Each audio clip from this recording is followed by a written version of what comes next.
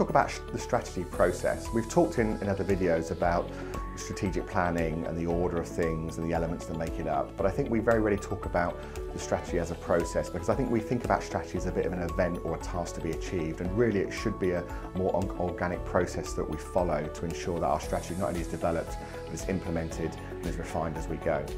So to give you some sort of insight into how that works, we've got kind of four key areas here that um, maybe some of these might be surprising. I think the development of strategy is, is fairly familiar to people, but there's also the need to build engagement around any strategy before we engage on it. There's a need to implement um, and align people to our strategy, and um, we need to think about all four of those things in order and then think about how they loop back on each other on an ongoing basis, and maybe probably for most people it's probably a 12-month cycle.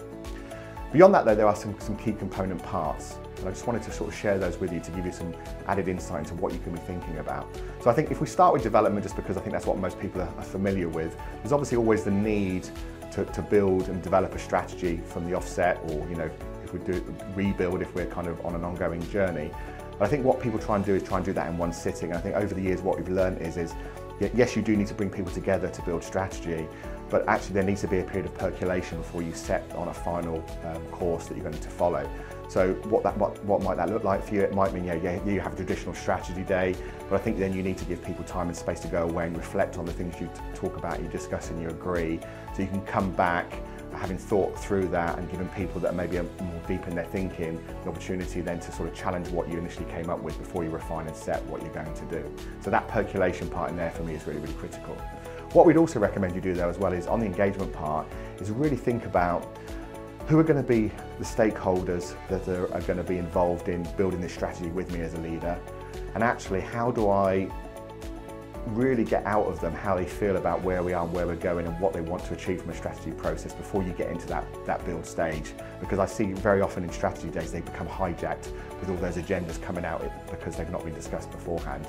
So you know, think about how you, you, you talk to and engage those stakeholders and flush out anything that might hijack the process um, and actually maybe use them to agree the scope on how you're actually going to go forward and develop it um, in, into that stage we just talked about in terms of development.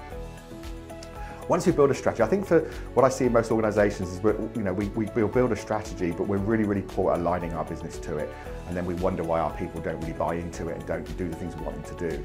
So implementation for us, we call it base camp. Um, we have a process for that. But you know, what is your, you know, if you imagine that your strategy is about how do we get to our top of our Everest, you know, what is your base camp position where you bring all your, at the very, at the very least, your senior leadership team together or senior management team together, it will depend on the scale of your business, maybe your whole business together to actually ensure that they all understand the strategy, that they align to it, that they want to go on it, that they have some input into it, that you, you, essentially hand over ownership of it to them and they start to think about how they're then going to go back and actually implement and make it happen. So that alignment piece is critical and then obviously that then hopefully will lead into the implementation part. But you do again need to think about how we're going to get momentum and ensure that our people are really driving through the strategy and following the plan that we've set for them.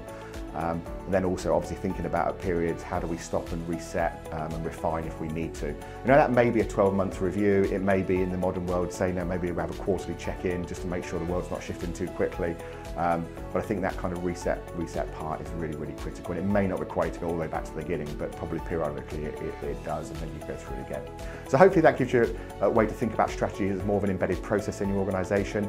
You need to think about the whole engagement of the people involved. Yes, you need to build strategy, but you also need to align your people to it so they then go and implement it for you. That's the strategy process.